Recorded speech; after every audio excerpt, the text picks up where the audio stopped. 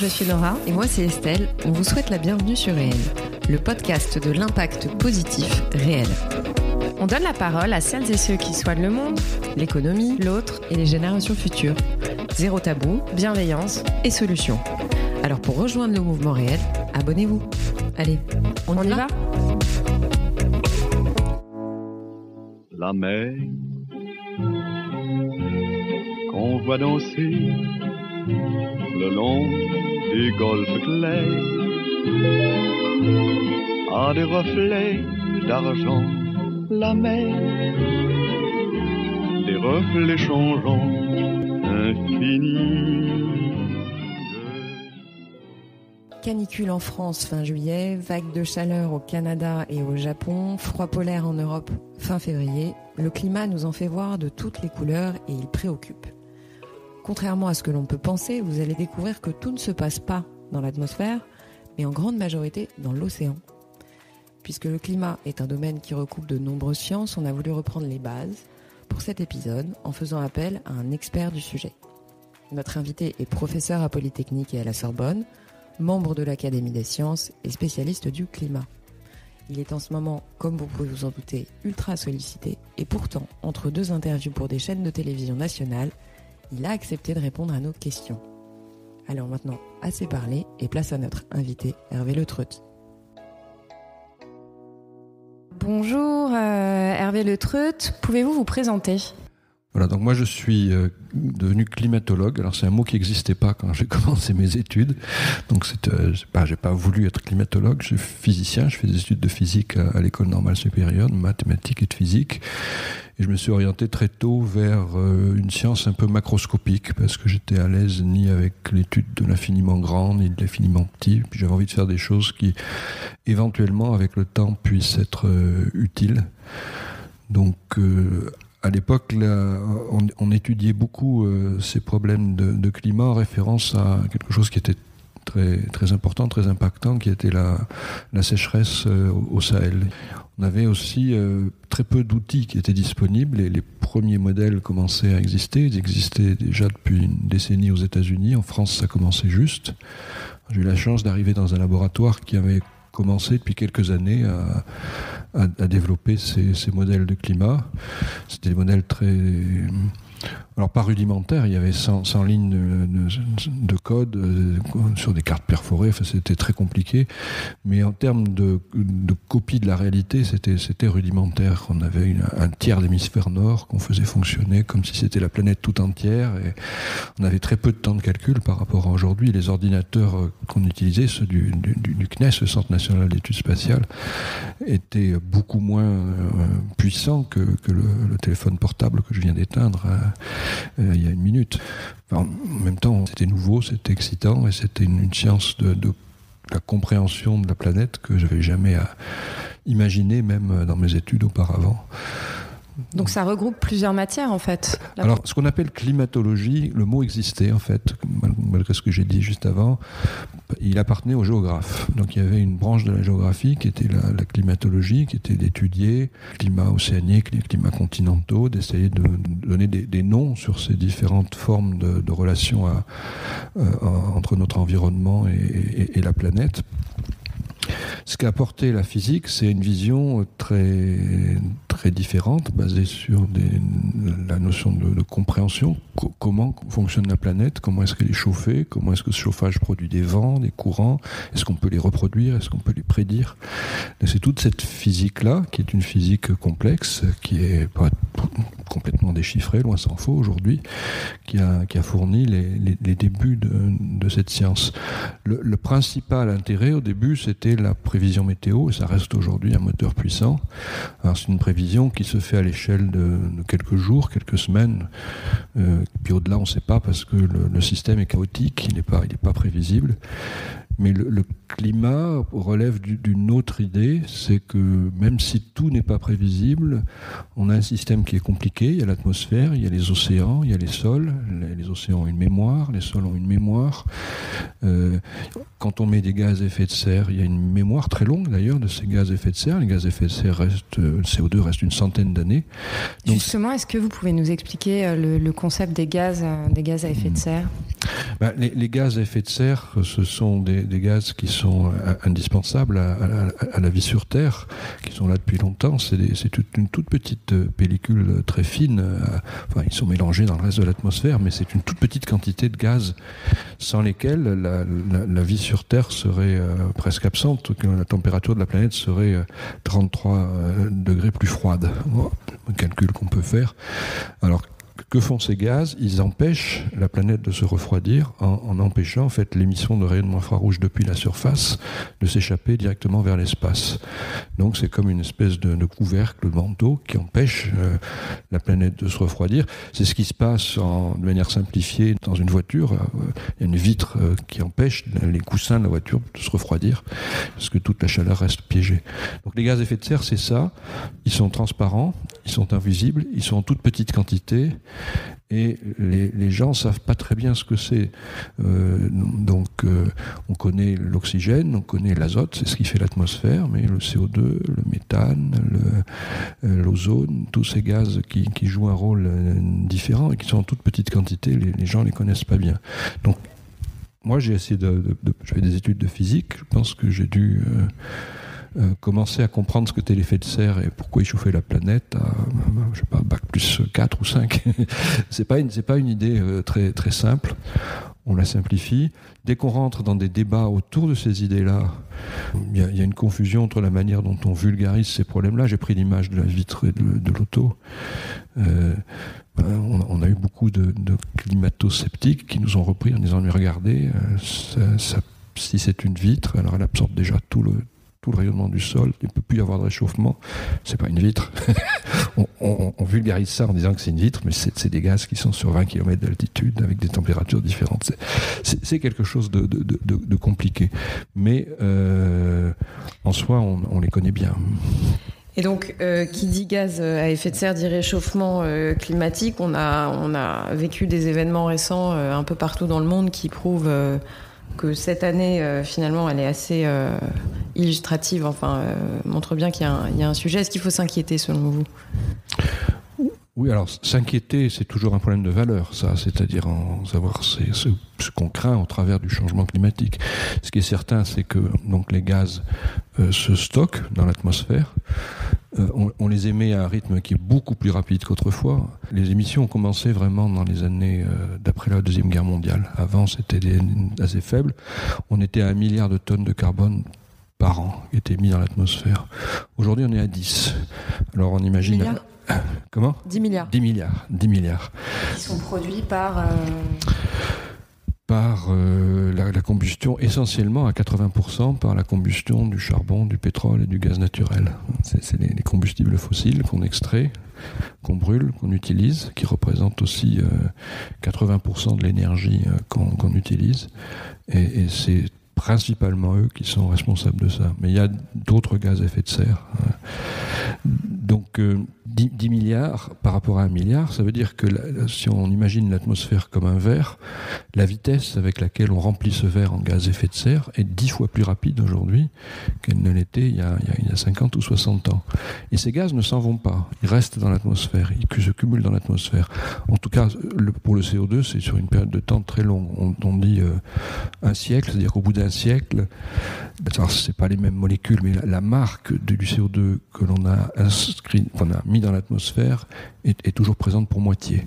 C'est énorme, un siècle. Ça veut dire que pour tous les gens qui sont nés euh, il n'y a pas très longtemps, comme vous, euh, l'essentiel de ce qui est l'essentiel de ce qui a été émis euh, le jour de votre naissance est toujours là dans l'atmosphère. Donc, euh, on n'a pas de manière d'effacer simplement d'un petit coup de chiffon ce qui s'est fait. On, on, a, on est face à quelque chose qui est irrémédiable, on cumule les choses, et personne ne parle d'ailleurs d'empêcher de, euh, le réchauffement de la planète. On parle de l'atténuer. Ce qu'a fait l'accord de, de Paris, c'est parler d'atténuation. Alors ça, ça se cumule avec le fait qu'on a une planète dont le climat va être modifié, et c'est une planète aussi qui est modifiée parce qu'on est très nombreux dessus. Euh, donc on, a, on lui demande plus à cette planète. Donc justement, euh, on, est, on vit maintenant avec une planète qui est, qui est réchauffée et qui va le rester. Qu'est-ce qu'on peut faire pour limiter, euh, limiter les dégâts? Bah, Je crois que la première des choses, c'est de s'interroger sur ce qui peut faire peur dans, le réchauffement climatique et ce qui peut être un, problème majeur. On oscille beaucoup entre le, le déni. Il y a une partie de, gens que ça effraie, ces problèmes-là, et je pense que ce déni... Même une partie de la communauté scientifique oui, c'est pas pas pas la communauté qui travaille directement sur ces problèmes-là. Le, déni un petit peu caché, c'est souvent, euh, moi je m'en rends compte en faisant des conférences à droite à gauche, des gens qui qui sont vraiment stressés par, par, tout ce qu'on dit autour de ce problème-là, tout ce qu'il implique, tout ce qu'il. Et je pense qu'il ne faut pas en arriver là parce que ça ne, ça ne prédispose pas à chercher des solutions. Notre vision, c'est une vision qui est une vision de, catastrophisme justement, qui, qui, fait que ben, lutter contre le changement climatique euh, est, est, est, plus important que, que, que n'importe quoi, que de la justice sociale, que de la alors en fait, moi je pense qu'il y, a deux choses majeures qu'on doit préserver dans, les, périodes qui vont venir. La première, c'est euh, de vivre en paix à 7 milliards. Donc ça, ça veut dire préserver une certaine justice, euh, justice entre pays, une justice sociale, tous ces éléments qui permettent une, vie démocratique, une vie... Euh, c'est essentiel de préserver ça. J'entends quelquefois parler de dictature verte ou de choses qui vont complètement à l'encontre. Révolution verte. voilà.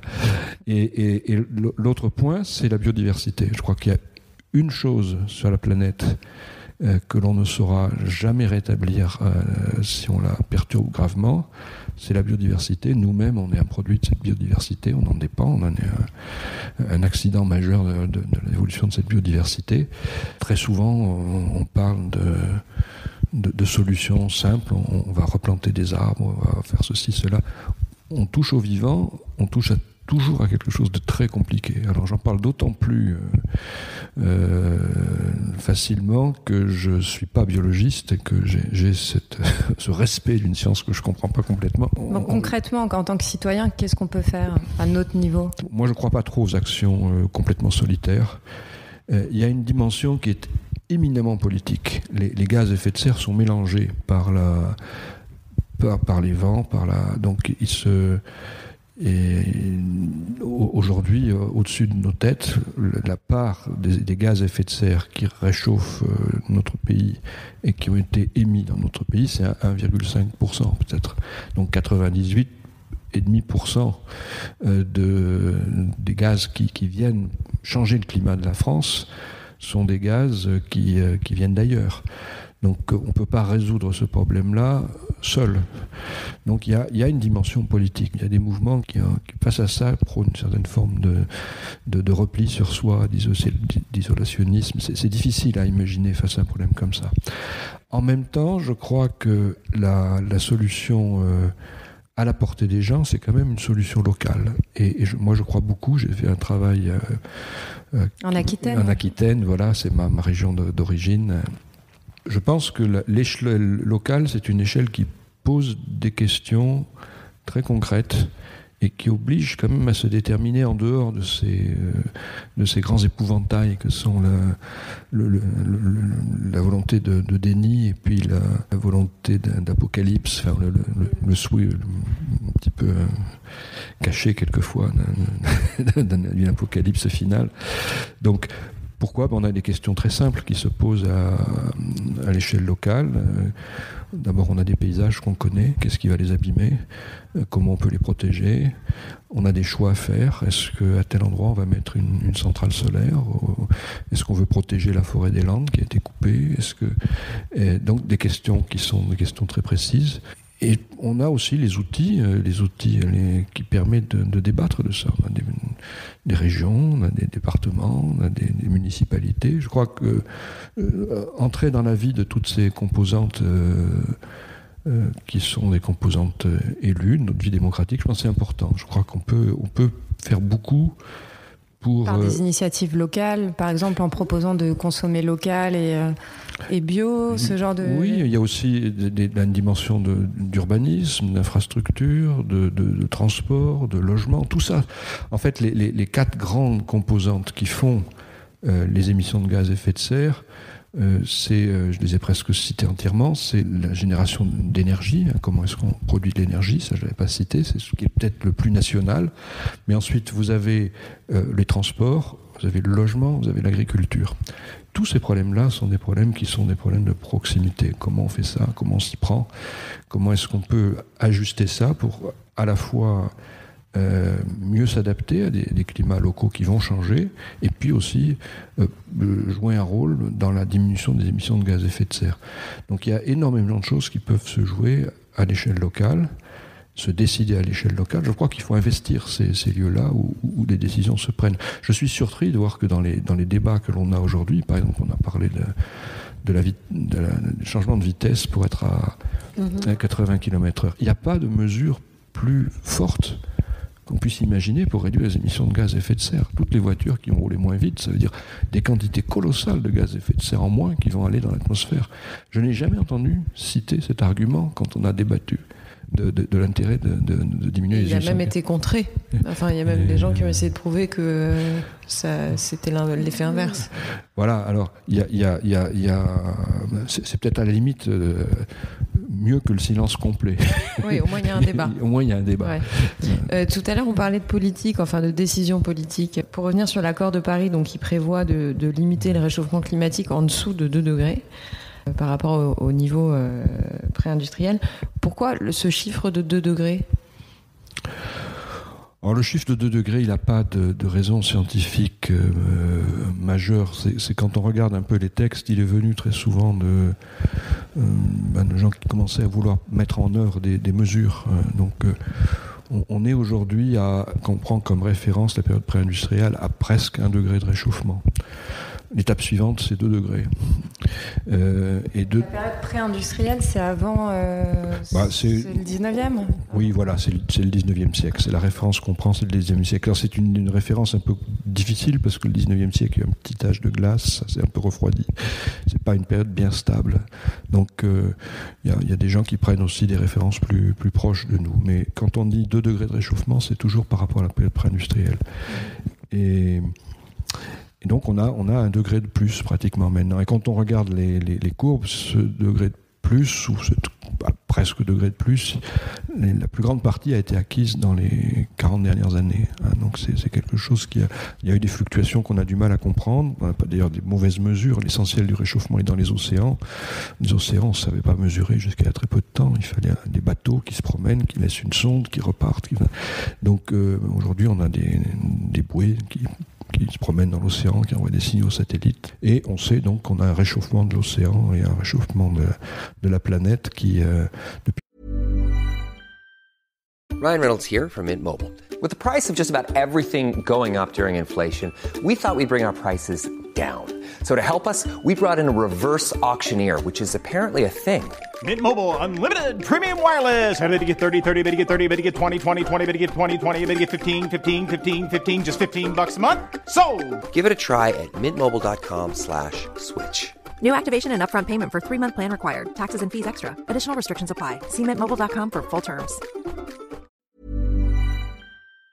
Depuis 40 ans évolue comme les modèles l'ont prévu longtemps à l'avance quand on a essayé de regarder ce que pouvait être l'effet des gaz à effet de serre.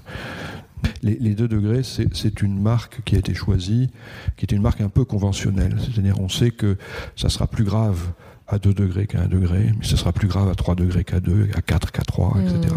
Donc, c'est un peu comme définir une vitesse euh, euh, limite à, à, 50 ou à 80 km/h. Euh, on sait que ça va dans le bon sens qu'il y a une certaine rationalité parce qu'on sait aussi qu'il y a plus d'accidents, plus de problèmes et de manière marquée au-delà de ce seuil. Mais c'est pas un vrai seuil qui, voudrait dire qu'en dessous de ce seuil tout va bien et au-dessus tout va mal. Hein. Et ça a été très souvent compris comme ça. Euh, donc euh, alors, l'accord de Paris, c'est un accord qui a, qui a, qu'on ne peut pas résumer simplement à des résultats de, court terme. Je crois qu'il a, il a une portée qui va bien au-delà. D'abord, c'est le premier accord qui a euh, dit clairement et qui a fait adopter clairement par tous les gouvernements de, la planète euh, un diagnostic qui est celui de la communauté scientifique. Tout ce qu'on a dit pendant des années est acté dans un texte qui est un texte onusien avec des recommandations qui sont des recommandations de diminution drastique des émissions de gaz à effet de serre, avec aussi un mécanisme pour y arriver, qui est ce qu'on appelle il y, a, deux dispositifs. Le premier dispositif qui est celui des contributions nationales que font, que font les États.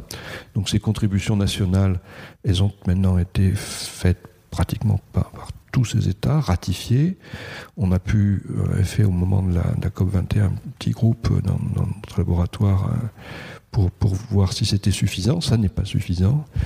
Il y a tous les cinq ans, et la première fois ce sera cette année, en fin d'année, un dialogue de facilitation pour inciter les États à aller plus loin dans leur euh, contribution. Donc c'est un mécanisme dont on espère qu'il pourra fonctionner sur, euh, sur le long terme. Alors si les Américains le quittent, et l'ont quitté, que ce soit absolument officiel, il faut, il faut un certain délai. Mais il y, a, il y, a, quand même beaucoup d'actions qui se feront euh, en Californie, qui se feront dans les entreprises américaines. La coercition, est-ce que ça a vraiment de la valeur en fait? Bah, En fait, la coercition n'existe nulle part, ni, ni euh, pour les entreprises françaises, ni pour les entreprises américaines. L'ONU qui est derrière ces accords n'est pas un organisme qui est, qui est vraiment capable d'exercer une coercition très, très forte. Euh, je crois que ça fonctionne justement par un effet d'entraînement. Si à un moment donné, je pense par exemple que le, les États-Unis d'Obama ont signé l'accord de Paris et l'ont fait avec les Chinois, c'est parce qu'il y, avait, il y a toujours un petit coin de, de réflexion qui laisse penser que peut-être en n'entrant pas dans ces mécanismes-là, on peut rater une révolution technologique majeure, verte, et, être à côté de, de, choses importantes qui vont se passer. Parce qu'on aura besoin d'une révolution technologique majeure euh, si on veut euh, vraiment satisfaire les exigences de l'accord de Paris. Et il faut créer cette idée que si on n'est pas dans ce processus-là, on va rester à, au, au, bord de la route et, et on, va, on, va, passer à côté de quelque chose d'important. Alors à ce sujet, justement, la, la transition énergétique coûte cher. Qu'est-ce qui peut accélérer le processus en parallèle du financement de cette transition, selon vous? C'est une transition qui est une transition euh, considérable.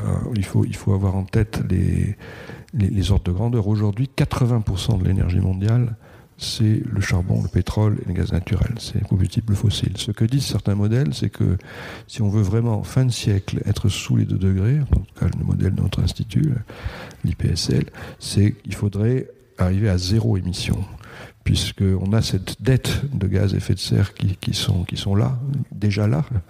Euh, donc on on ne doit pas seulement arriver à un équilibre entre ce qui rentre et ce qui. On doit résorber tous ces gaz à effet de serre qui ont déjà été émis. Donc arriver à zéro. Par contre, on peut remplacer, proche de zéro, par contre, on peut remplacer ces gaz à effet de serre uniquement par des solutions alternatives. Aujourd'hui, les biocarburants, c'est quelque chose de difficile parce que il faut trouver des réserves d'espace de, qui permettent d'avoir des biocarburants sans brimer la biodiversité, sans brimer aussi l'agriculture, la nourriture, l'alimentation. On a l'éolien et le solaire. Aujourd'hui, l'éolien et le solaire, c'est 1% à peu près, de, un peu plus d'un pour cent de l'énergie mondiale. Donc, ce qu'on doit faire en, en 50 ans, c'est remplacer les 80% par le, par le 1% qui grandit. Donc ça, c'est quelque chose qui, euh, au niveau mondial, c'est des choses qui sont euh, au-delà en termes de, de, de, de, vitesse de transition économique que ça implique, au-delà de tout ce qui s'est jamais vu sur la planète. Alors ça crée de l'anxiété. Je crois que la première des choses, c'est de ne pas créer d'anxiété. Je crois que le Brexit, euh, le vote Trump, c'est un réflexe d'anxiété face à ces annonces. Les gens se disent, mais il va y avoir des, millions de jobs qui vont être créés, et puis il y en a des millions qui vont être supprimés, puis comme moi je suis euh, quelqu'un qui n'a pas fait d'études, je vais être dans le million qui vont être supprimés. On a besoin de financement, on a besoin d'idées aussi. Je crois que c'est. Euh, moi, je suis frappé par le fait que dans, dans le discours ambiant, dans les, le métier d'ingénieur, je suis professeur à Polytechnique depuis des années, je vois aussi que c'est quelque chose qui, qui pénètre cette euh, école. D'ailleurs, euh, c'est intéressant de savoir depuis quand, parce que est-ce que euh, justement le fait que les grandes écoles, dans votre fonction de, de professeur, depuis quand, selon vous, vous avez senti qu'il y avait un, une, une, prise en main de cette problématique au sein de, des formations?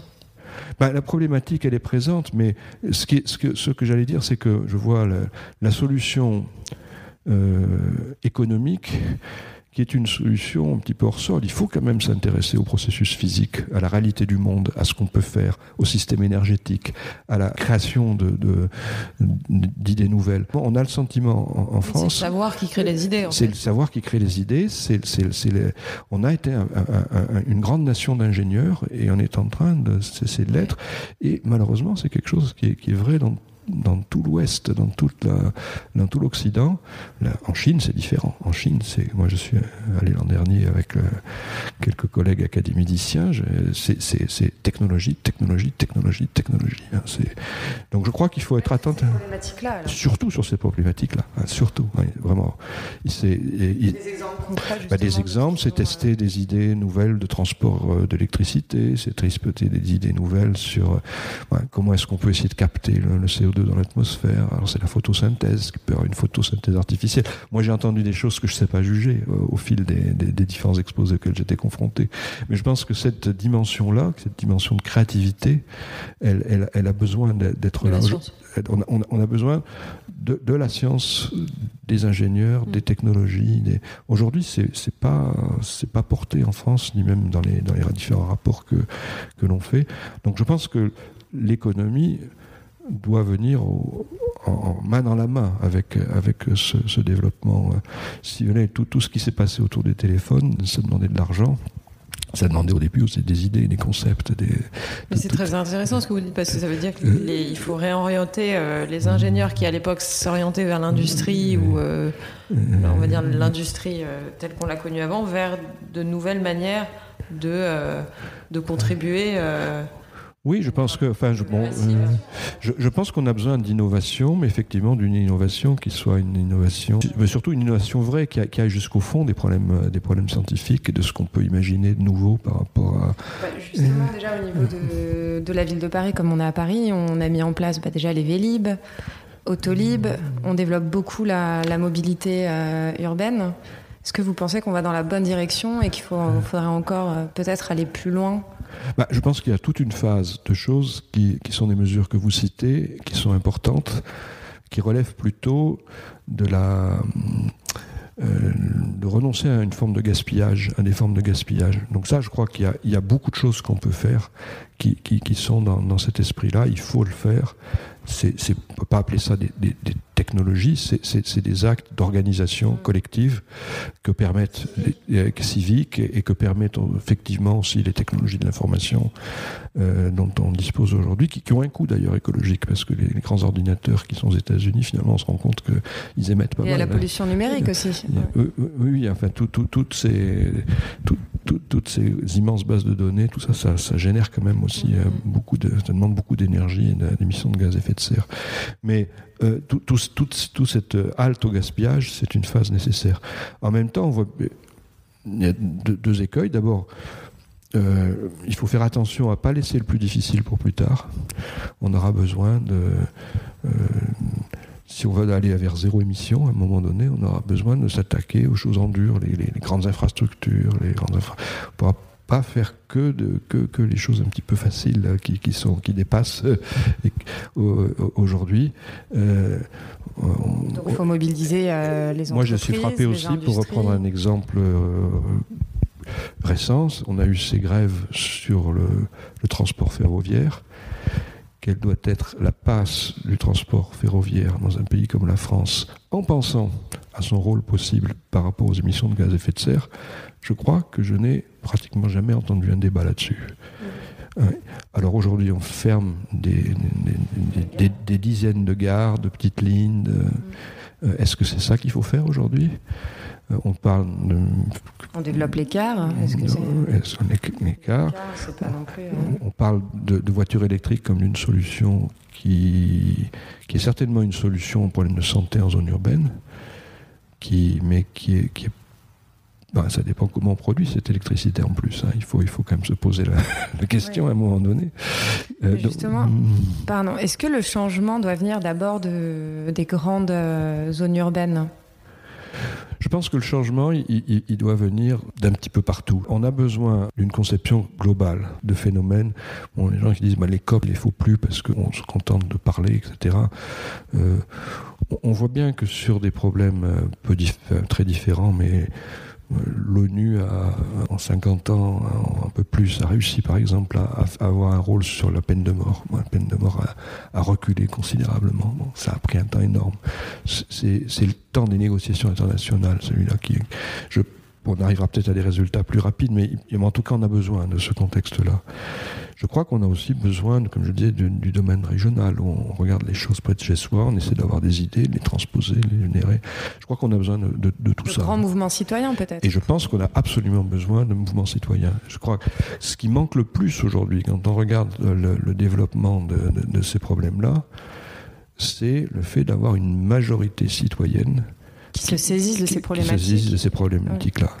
Et qui se rendent compte de la gravité, en fait. et qui les comprennent. Et qui les comprennent. Je crois que les gens, comme on le disait au début, ne sont pas en mesure de, bien mesurer les choses en les mettant à leur juste valeur. Il y a l'importance de l'éducation qui doit être une éducation à la compréhension. Autrement, on reste dans cet écueil, euh, c'est le catastrophisme d'un côté, c'est le déni de l'autre.